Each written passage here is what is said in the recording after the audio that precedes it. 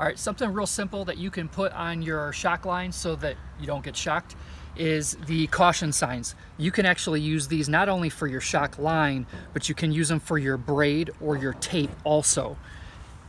You want to put these, depending on your state, so many feet they are required so that no one touches your shock line and gets hurt.